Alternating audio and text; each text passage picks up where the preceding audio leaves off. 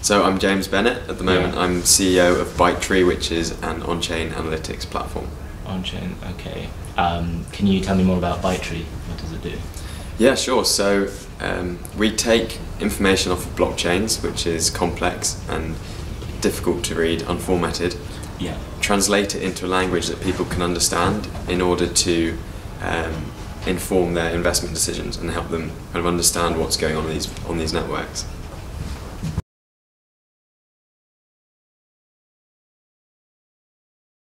Yeah, we certainly look at price. Um, so one of the most interesting things about on-chain data is that you can see the uh, patterns and types of transactions that are happening on the different networks. So if we think about this ongoing debate about what is Bitcoin, is it a payment network, is it digital cash, is it gold, um, what is Bitcoin Cash, is that kind of the equivalent um, kind of cash version of, of Bitcoin? What is Litecoin? Is it really a silver to, to Bitcoin being a gold? Mm-hmm. And at the moment, there are a lot of opinions about what those mm-hmm. different kind of networks are and what these terms mean.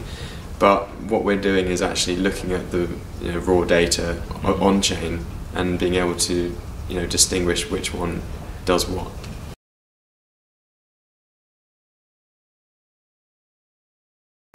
I think um, it did start off as a payment network Yeah. and still carries a large amount of the um, transaction value that happens on blockchain networks is carried across you know Bitcoin. So we see about two to three billion dollars a day of value trans- transferred on the on the Bitcoin network.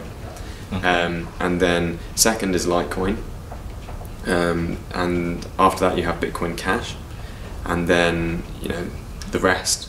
But those three are really making up the majority of payments. But what's interesting is if you say, okay, yeah, if, if I give you a number two to three billion Yeah. in a day, yeah. and I tell you that there are 3,000 transactions um, in every block, there's a block every 10 minutes, you could sort of extrapolate that there's a lot of you know mid-value transactions going on, but it. Could also be the case that there are 2,900 transactions every block that is zero, and there's one transaction that has a huge amount of, of value in it. Or perhaps all of the transactions through the day are like mm-hmm. 0.01 mm-hmm. and there's just one two billion dollar transaction a day. Mm-hmm. Now, in terms of which is of those scenarios is a more valuable network, it's the one where, in my opinion, where you have the most number of users exchanging that value, you know, across them, rather than just two wallets sending money back and forth to Mhm. each other. So having that total transferred number alone and the number of transactions alone doesn't actually give us enough information, especially in a space where people are um, gaming these metrics in order to, you know, make the case that they are a better crypto, a more valuable crypto, and that's what we've seen with the whole Bitcoin Cash, Bitcoin SV thing, is, you know, oh look, we do, you know, this many more transactions and this is our total value, but okay, who who are doing these transactions? Mhm. Like, we really want to get in and see them. Mhm. So what we're working on at the moment is a heat map, Okay. so that for all the transactions that occur in a block through the day, we can see the distribution of value, you know, in, in terms of low value, high value.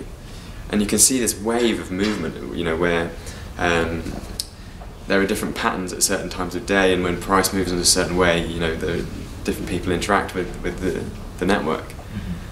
Um, and yeah, I, I just find it fascinating.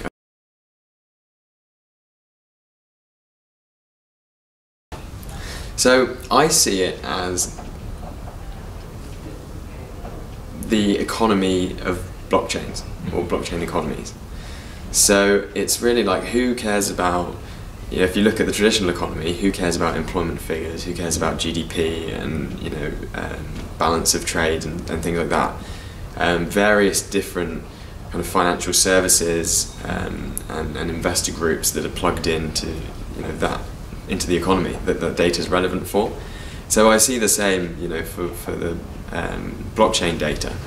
It's like if you are using um, the Bitcoin network for something, like sending you know a payment, you want to know that you're not the only one doing it because that would mean that your kind of payment is a very large amount of the total uh, value on the network at that time, which is a risk. So yeah, anyone that's plugging into the into the various um, blockchain networks needs to know if they're legit.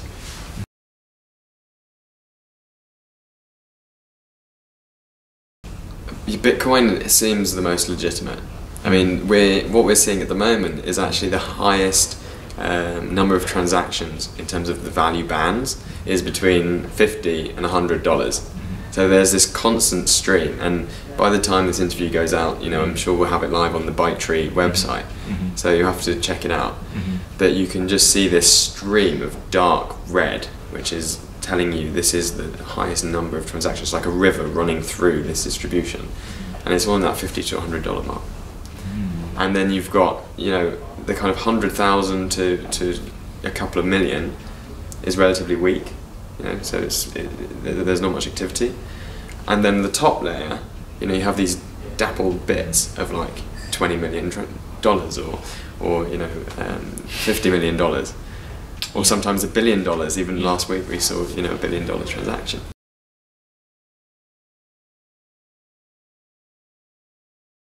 There is a plethora of information available on blockchain networks, but the pseudonymous nature of these actors means that you know we can't directly say whether it's a Starbucks or you know a student or a doctor receiving you know payments, sending payments, whatever.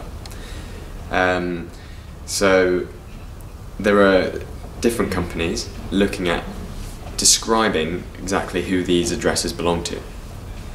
Um, and then, you know, that would be the answer to your question.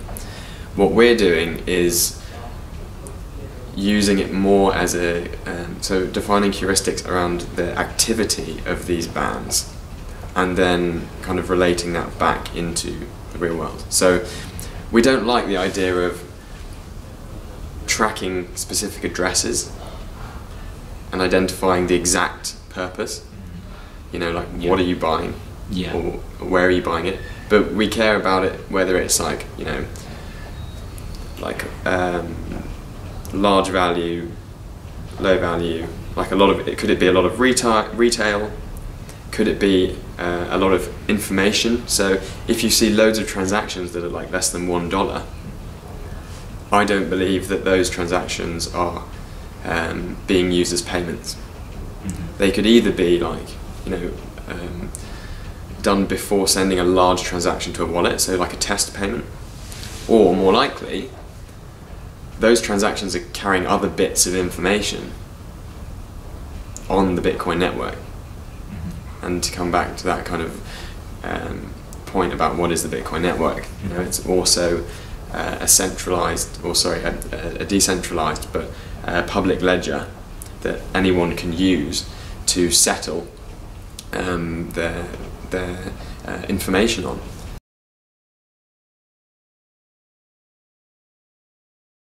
Look at the on-chain analytics space Mm-hmm. you can break it up into you know the, di- the different players looking at kind of two areas. One is, um, or even three areas. Um, one is like surveillance of different users on the network. So that would be Chainalysis, Elliptic. Now those are the guys that want to catch the baddies. Um, you know the the uh, regulatory bodies or governments would come and ask, you pay them lots of money to find out, you know, who's uh, this person you know, Who are the bad network. guys. Who are the bad guys? Okay. We don't really like that. I think it's that's the kind of snooping that is not, you know, in, co- i i i- like it, it's not what this whole space was about. Um, people deserve to be able to have freedom if they want, you know, to do things anonymously. Um, but then you've got the other side of it, which is, uh, yeah, like I said, the, econ- the economies of blockchains, um, which defines like the legitimacy of these different networks. And then that segues into the third part, which is you know trading and investing.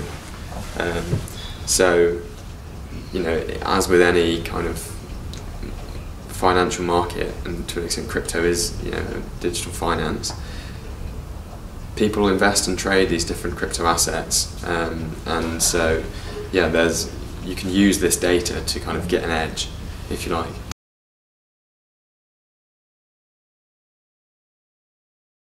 So yes, right, like um, we provide an API feed of on-chain data. So all of the kind of information you can see on the terminal, um, which is bytetree.com, that can be downloaded into an Excel, and you can then work with the data to find that you know the, the most relevant bits of information for you. So I came into this from a um, sort of crypto asset research mm-hmm. point of view, which was okay, everyone's poking around in the dark with blindfolds on about what is the price of Bitcoin, what should it be, and so I wanted to find a way to kind of construct a valuation model mm. uh, based on you know the data of the network, and so to a large extent, I think that's what people should use the data for.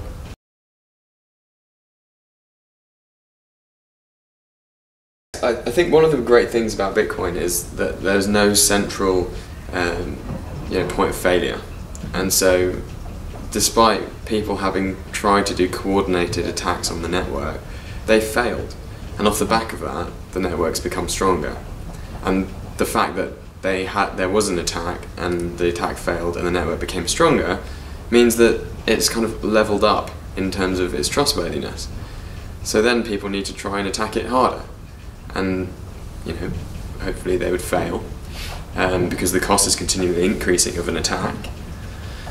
Um, and that would then make it stronger again. Um, in terms of like the the philosophy of Bitcoin I just think it's phenomenal that you can have this decentralized public um, ledger that anyone can contribute to and anyone can sort of check and validate um, and no one can interfere with. It. It's like the ultimate game of Chinese whispers globally, um, except that you know the whisper never gets lost because because it's there, it's indelible on the blockchain.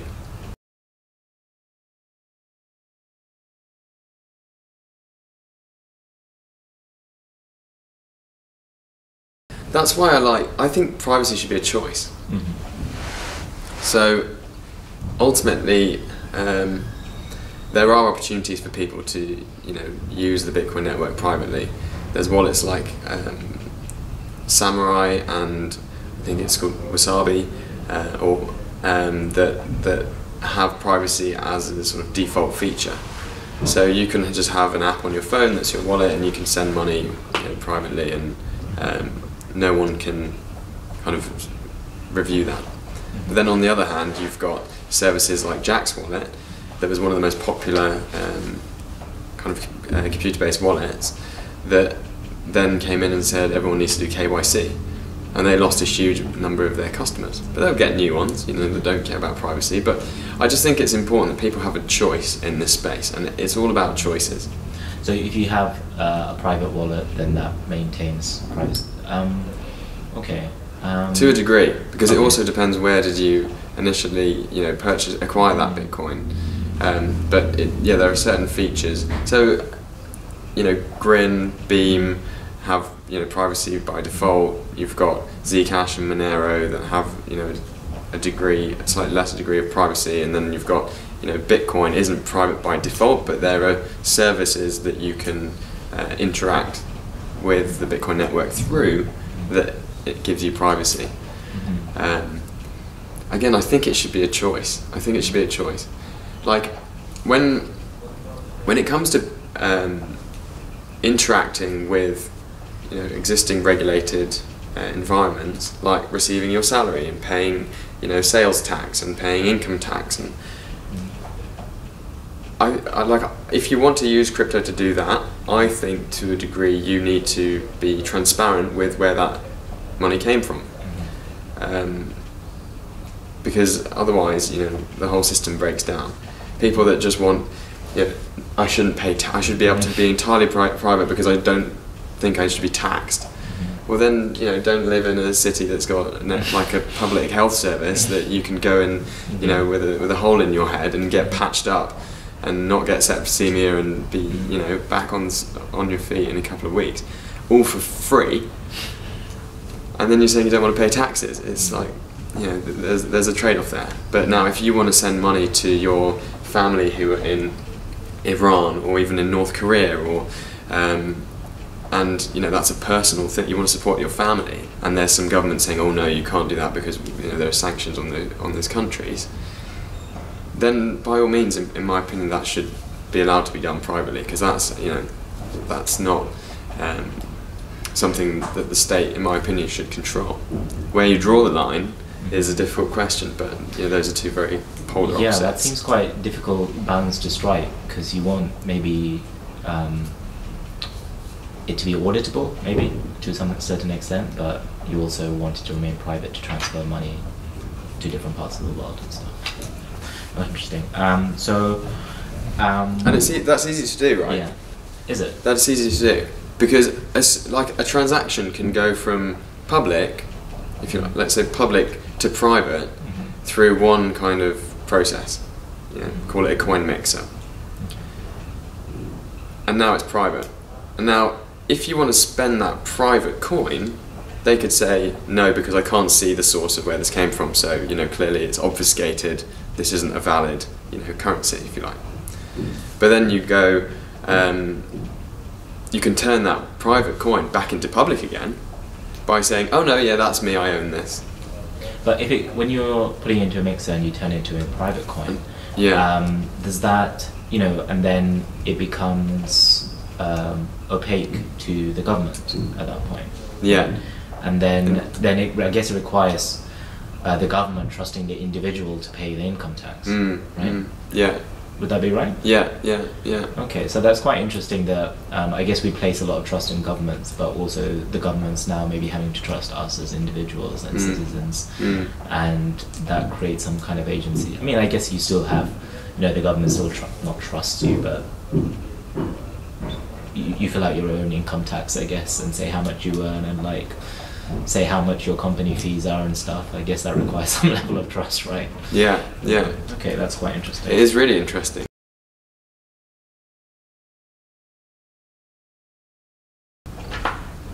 So looking at the distribution of hash power, so you know the network guardians, if you like, and seeing where that is concentrated, and and how concentrated it is. So you know geographically, um, as well as like based under one entity, um, because those that's that's another risk to the network. You know, if you had a massive mining center in um, in China, then that could uh, control more than fifty percent of the network. Then you know there's a kind of existential threat there to, to the Bitcoin network.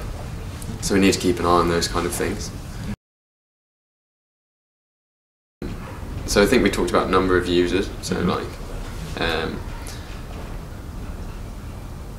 broadly categorizing because exchange um, broadly categorizing wallets so that we can understand you know what is driving the kind of on- on-chain activity so we talked a bit earlier about you know using different heuristics to uh, group people into different types of, of, of transactions but also being able to say this is a whale wallet because it owns more than a thousand bitcoin and this is a, an exchange because you can see the amount of activity that goes in and out of exchanges, and they, they've also been kind of publicly labelled. Um, and then you can start to say, you know, 20% of the traffic is, is um, going to exchanges or coming from exchanges. So you can say, well, that's speculative activity, or you know, however you want to define it. Okay. Um, that's interesting. Okay. okay. Any others? Um, I think layer two solutions. So looking at you know Lightning Network and and Liquid, which are so Lightning Network's slightly easier to, to track the amount of activity going on. Uh, Liquid, which is the uh, Blockstream kind of side chain, um, is much more difficult to track the kind of uh, activity that's going on. Also looking into the op return functions. So essentially these little backpacks that sit on top of every transaction on the Bitcoin network that can carry other bits of information. So uh, you've probably heard of Tether, the, the Bitfinex kind of US dollar backed stablecoin, and that runs on partly on the Bitcoin network. So it sits on top of the Bitcoin network on the Omni layer, um, and that that's pretty cool because you know you can you can see the amount of value going across the Bitcoin network, but then there's an additional value kind of sitting on top of that. Mm-hmm. And then if you think that people could be potentially, you know, trading their um, like hard assets, like property, property rights, technically you could put that into a Bitcoin transaction in the op return function, but you don't see that, you know, in the in the um, transaction metrics. So you need to dig deeper.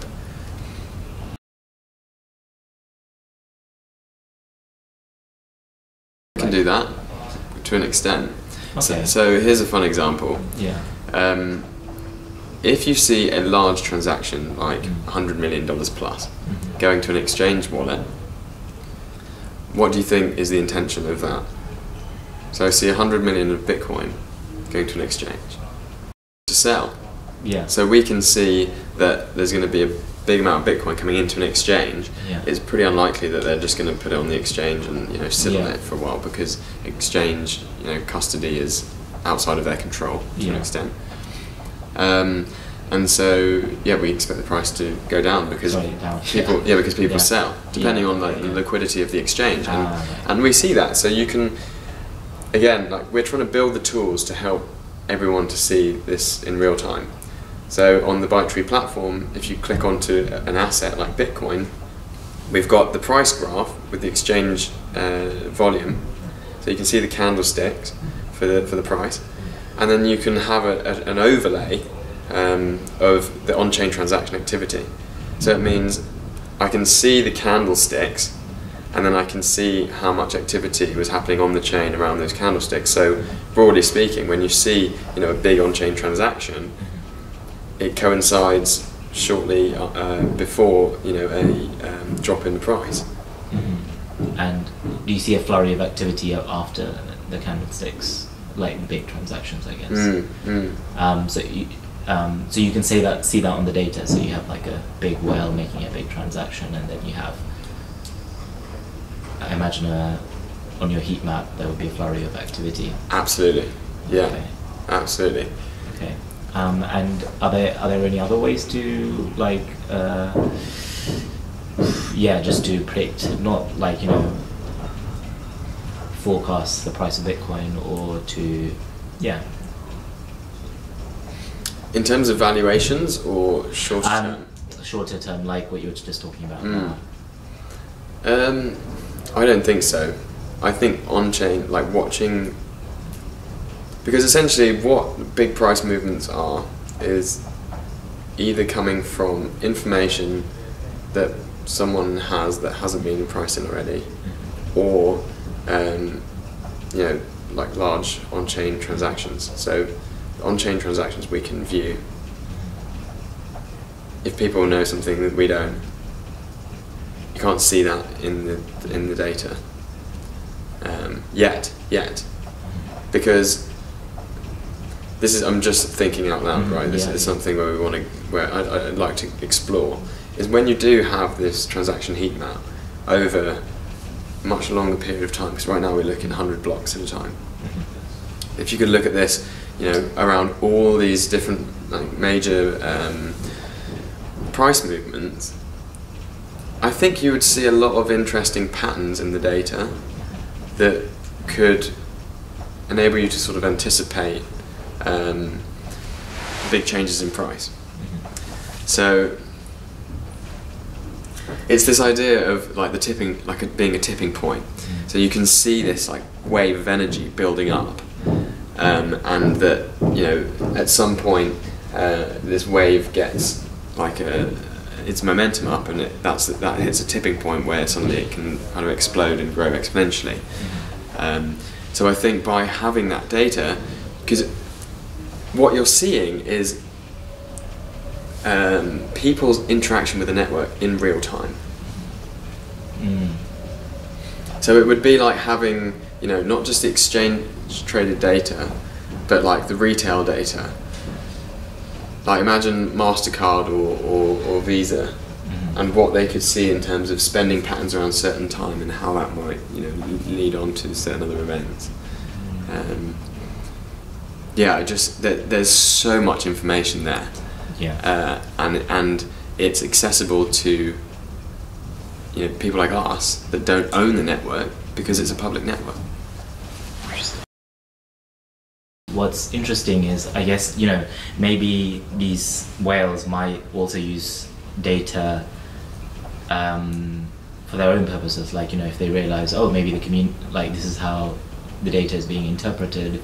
If I make a big movement into an exchange wallet, that's being interpreted as price volatility, um, that as a selling pattern. I mean, this might be just obvious stuff, but yeah. No, it's not. Couldn't they just Great point. like? Couldn't they just perform that and then not sell and then pour it back? Yes, Yeah, okay. absolutely, So it becomes quite an interpretive exercise, Yeah. and the rules of the games are continuously changing. continuously changing. Okay, that's quite interesting. Mm. Um, But that's um, so I don't have a trading background, yeah. you know, um, but from what I've learned in the last couple of years of being in the space and sort of diving deeper into this, is that is essentially how this trading game works. Mm. There's an advantage that you have because of information that other people don't have. Mm. You can exploit that for a certain amount of time, and then people catch up, and you need to find a new, you know, approach. Mm. Um, or you need to refine your approach. You know, it's, it's, it, it, it is competition in, it, in its truest form. And as a maybe as a data provider or an analyzer, maybe like your interpretive game also has to change with it. Maybe. A hundred percent, Yeah. all the time.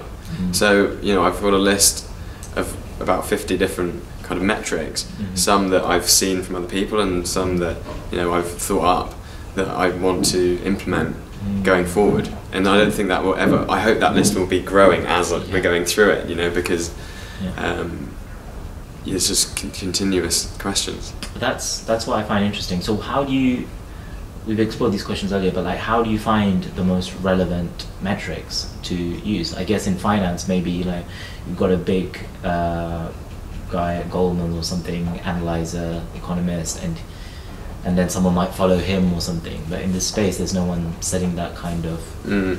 trend. So how do you find out like this is the metric that like is best represents this community, or do you talk to economists or Mm. advisors or techies? How does it work? I think it, it starts with curiosity Mm-hmm. and an understanding of what you're looking at, um, and then understanding what is important for the you know the person, um, and then kind of going deeper from there. So, as an example, like if I want to send you some cryptocurrency, Mm-hmm. and you're you know blockchain agnostic, you don't you don't care which one, you just want you know the, what's going to be quickest, or maybe you just want what's going to be the most secure, um, or maybe you know the most liquid, because you know you you don't want to have like price slippage when you turn it back into fiat, which is your end goal, and depending on what your kind of motivation is for transacting on this network will depend on or will define which network you should probably use. So because Litecoin has two and a half minute block times versus Bitcoin's 10 minute, you know, it's essentially four times faster, um, which means that, and, and fees are also lower because the blocks aren't as full, um, which means that if I want to send money quickly, um, I would use Litecoin, and I did in 2017. You know, when the Bitcoin network was congested and there were all sorts of um, attacks going on from like Bitcoin Cash, um, and I just wanted to send money from one wallet to another, or, from one exchange to another exchange to buy different cryptos, and I used Lite, uh, Litecoin because it was cheaper, quicker, faster. And I didn't care. I don't care about like the long-term appreciation of Litecoin. I just wanted to use Litecoin as a as a means of getting from point A to point B.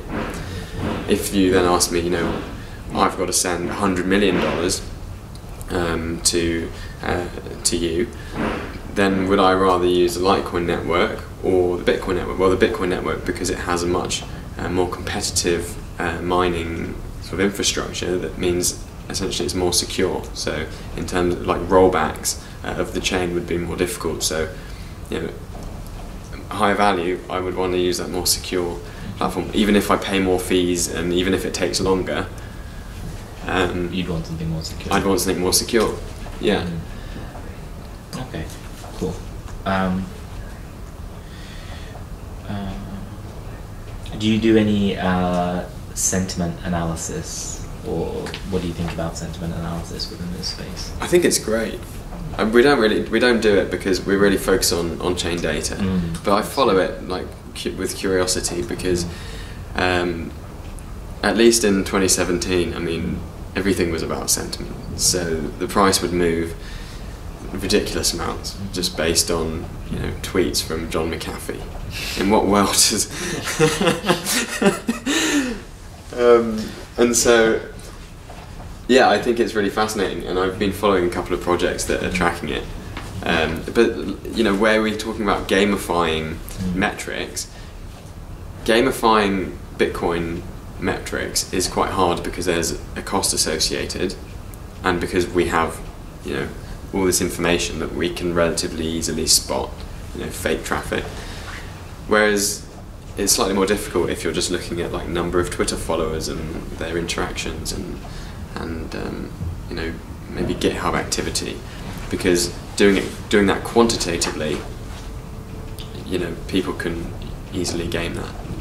Um, people that are doing sentiment analysis like qualitatively, like really kind of getting inside of the minds of the community and understanding their like um, loyalty or, or resilience or you know um, kind of ambition to grow the, the project. There you can see where the, you know that kind of analysis becomes really really important.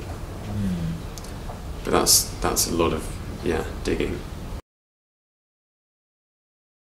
I was thinking of writing an article about uh, just hodling, um, the concept and the idea. It's quite a simple idea that and what it means within the space. So maybe you know you can share your own thoughts on it. So for me, I think I'm interested in it as a concept because I guess it came out of this two like this post on December 10th or 18th, 2013 or something like that Mm. uh, by this guy GameKyuubi, obviously, and then you know what's interesting about it was that you know he said he admits that you know I'm not the best trader in the world. You've read the post? I think. Have you read the? I think I've read the post. Yeah. yeah. And anyway, he rants about how he's not the best trader in the world, Yeah. and so like I'm not gonna like sell or whatever, buy. I'm just gonna hold or hodl, right? And I think you know I have a lot of theories about that. Maybe that hodling was an important concept to not listen to like legacy thinkers who constantly said like oh bitcoin's going to die or this is going to die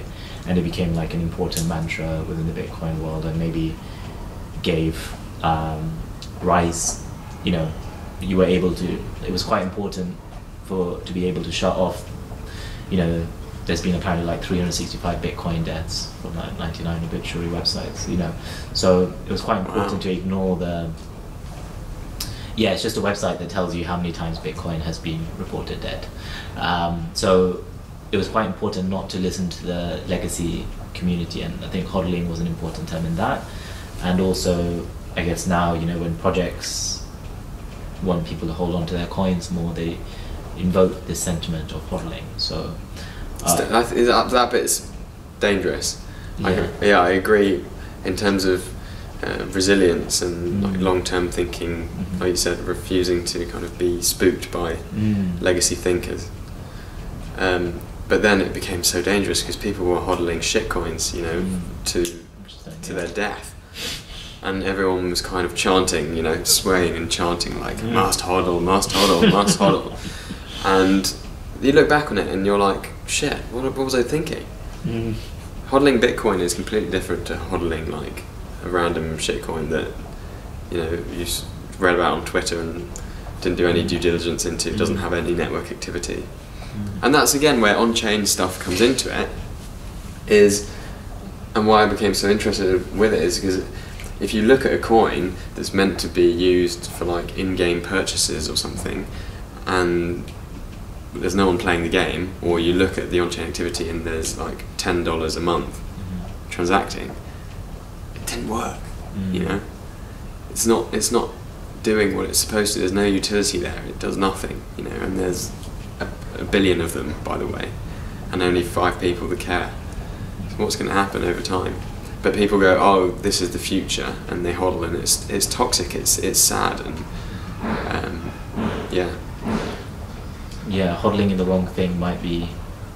Yeah, yeah, it's a powerful ideology maybe, but it also might be destructive. absolutely agree.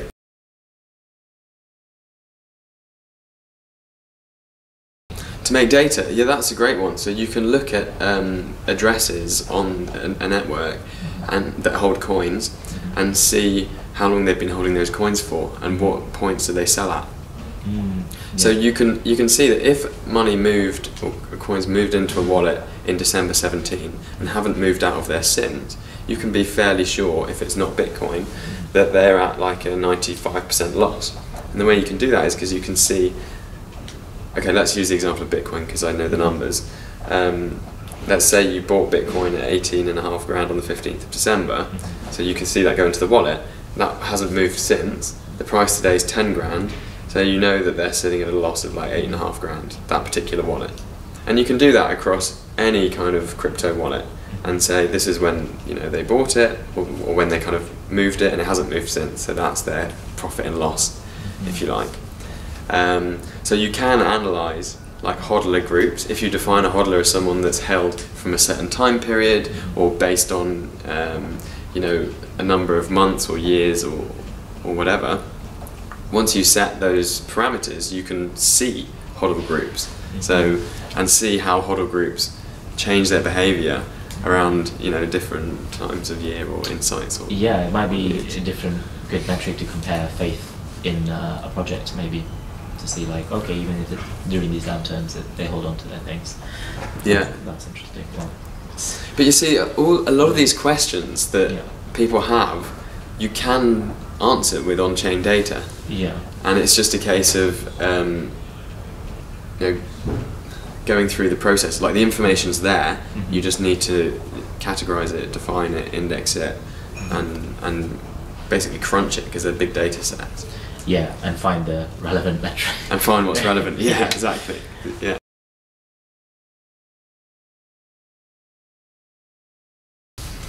Um, I think it's fascinating how resilient you know this the public crypto asset market has been, considering the crash, if you like, that we had, and that there is so much positive kind of momentum going on in like con- continuously legitimizing you know the Bitcoin network and Ethereum and, and Litecoin and a lot of those in the kind of top twenty.